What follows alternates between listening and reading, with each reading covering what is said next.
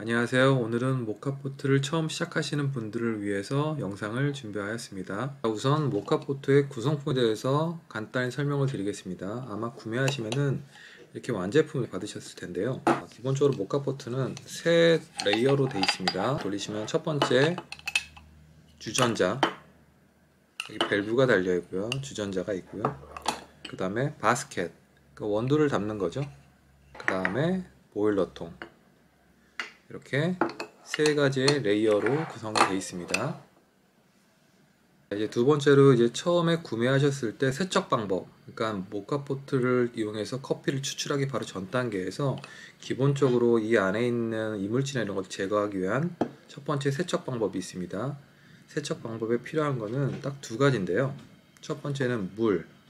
제가 이거 두 컵 분량이기 때문에 120리터 물을 준비합니다. 물은 그냥 미온수 상관없습니다. 120리터 두 컵 분량 기준입니다. 그 물을 부어 주시고요. 자, 그 다음에 다시 조립을 하셔갖고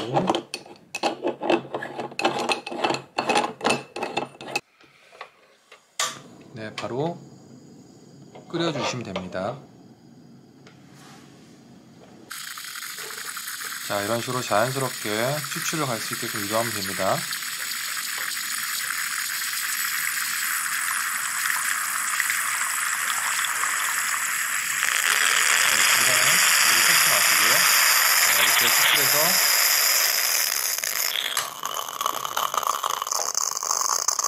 이렇게 추출한 물은 버리시면 됩니다. 이렇게 버리시고 이 과정을 그러니까 지금 포함해서 두 번, 총 세 번 정도를 물을 이용해서 끓이고 버리고 하는 과정을 세 번 반복하시면 됩니다. 이제 마지막 세척 과정으로 원두를 이용해서 세척을 하겠는데요. 어, 보통 이제 여러분들이 그 구매를 하셨을 때 사이트마다 각각 차이가 있긴 하겠지만 보통 세척용 원두를 주시는 경우도 있고 또는 없을 경우에는 집에 준비한 분쇄된 원두를 사용하시면 됩니다. 이제 세척하기 위해서 원두를 넣겠는데요.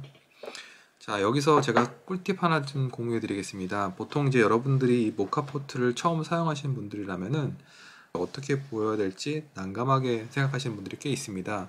그 이유가 보통 이렇게 밑에 바스켓 밑부분 손을 잡고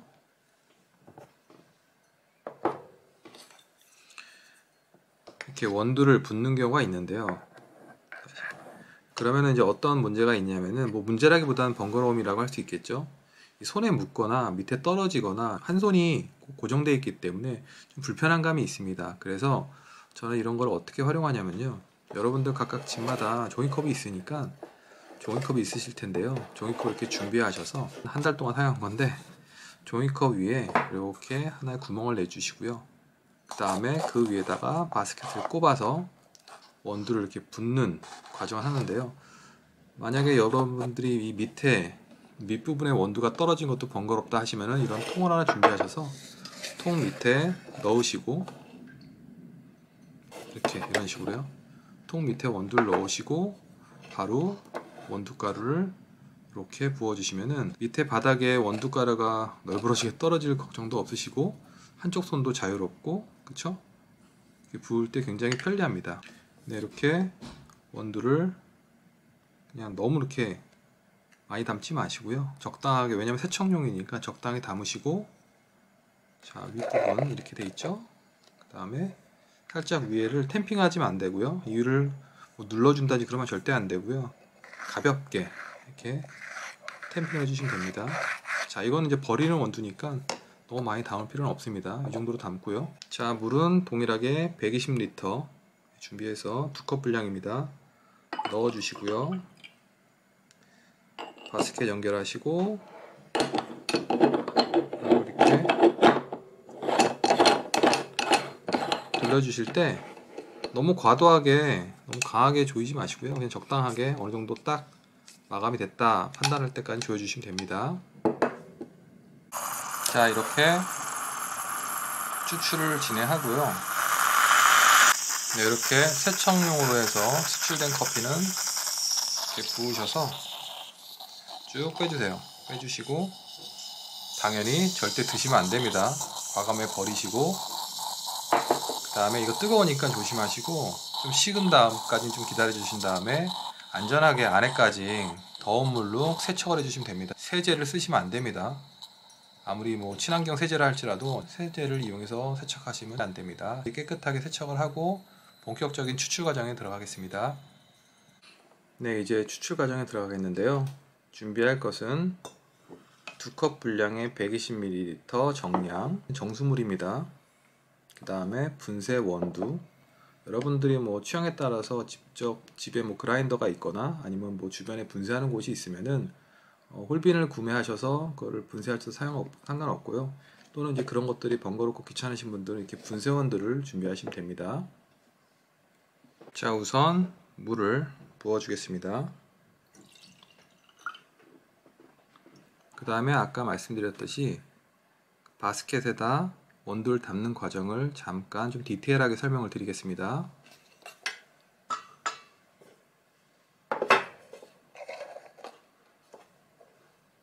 자 이제 원두 담는 과정을 설명을 드리겠습니다. 네, 분쇄된 원두를 위에 담으실 때 이렇게 담으실 때 최대한 잘 뭉치지 않게끔 담는 게 가장 좀 중요하고요. 이건 나중에 이제 고급 과정 때 한번 설명하면 하면 안 됩니다. 살살 다듬듯이 부드럽게 다듬고 위에 부분을 살짝 걷어낸다 라고 생각하시면 됩니다. 이렇게 해서 마무리가 하시면은 이제 원두 담는 과정이 끝난 겁니다. 자, 이제 추출을 진행하겠는데요. 어, 불을 조절은 중불로 진행하시면 가장 적절한 맛을 뽑아낼 수 있습니다.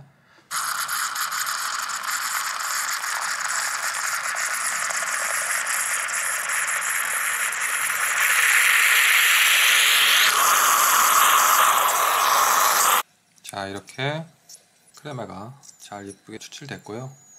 얼만큼 추출했는지 한번 보겠습니다.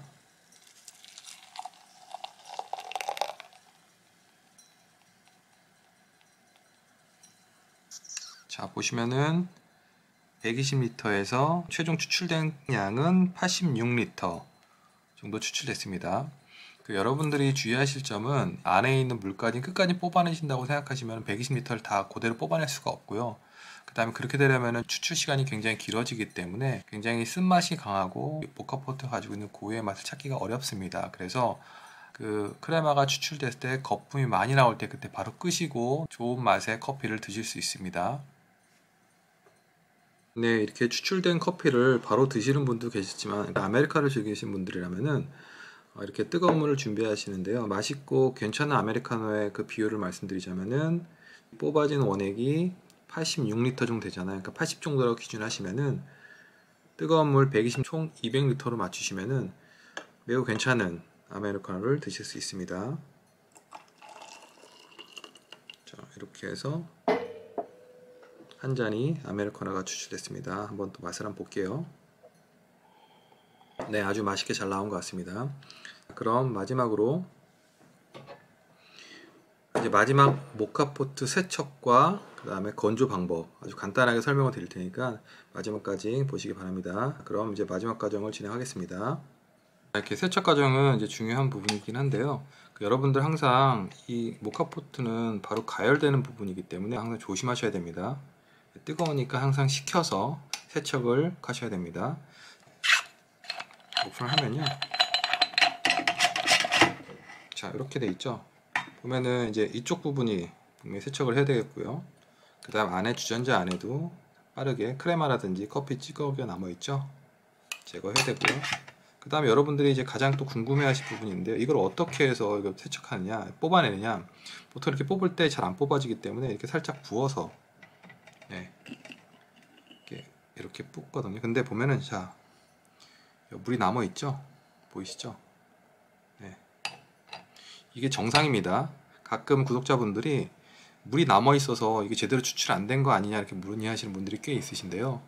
이걸 다 뽑아내면은 굉장히 쓴맛이 강하고 남아있는 커피까지도 탄맛이 강해지기 때문에 굳이 이것까지 뽑아낼 필요가 없습니다. 이건 정상적으로 남은 겁니다. 이건 버리시면 되고요. 그 다음에 이 부분인데요. 이 안에 있는 이 바스켓 안에 있는 원두를 뭐 긁어내거나 파내거나 그렇게 하실 필요 없고요. 이 부분 있죠. 바스켓 끝부분. 끝부분을 입으로 불어주시면은 이렇게 불어주시면 뚝 떨어지죠.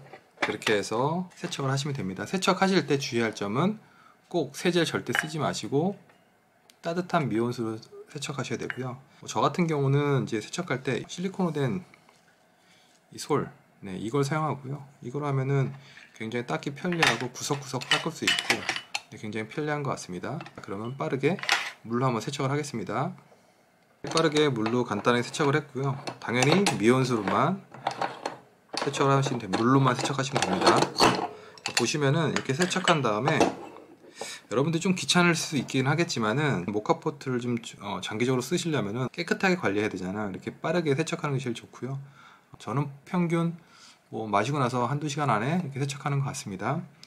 그 다음에 이제 마른 수건으로 한 번 정도만 바로 이렇게 자연 건조하는 거 좋긴 하지만 그래도 더 깨끗하게 관리하기 위해서는 이렇게 마른 수건으로 한 번 정도 이렇게 닦아 주시고요. 그 다음에 제일 중요한 이 보일러통 여기만큼은 최대한 빠르게 건조할 수 있게끔 이렇게 한 번 더 닦아 주시고요. 그 다음 나머지는 사실 이런 것들은 자연 건조 상관이 없습니다. 아니면 바로 꺼올러 놓고 건조하시면 됩니다. 이렇게 기초 과정, 모카포트 사용에 대한 기초 과정을 설명을 드렸고요. 오늘은 여기까지 영상을 마무리하고요. 다음 시간에는 모카포트를 활용한 중급 과정, 원두를 선택하는 기준, 그 다음에 아까 말한 템핑에 대한 좀 고도화되는 부분, 그 다음에 좀 맛있게 추출하는 방법, 크레마를 좀 더 지인하고 끈적하게 뽑아낼 수 있는 방법, 이런 것들에 대해 설명을 드리겠습니다. 그럼 오늘 영상이 마음에 드셨다면 좋아요, 구독 꼭 부탁드리겠습니다. 감사합니다.